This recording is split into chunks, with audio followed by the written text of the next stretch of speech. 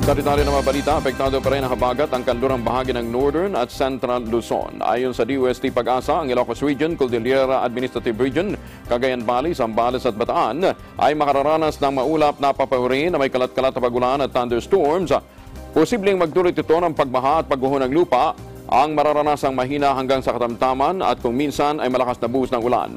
Sa Metro Manila naman, ang nalalapimang bahagi ng bansa ay bahagyang maulap na kalangitan lamang ang mararanasan pero merong isolated na mga pagulan dahil naman sa localized thunderstorms.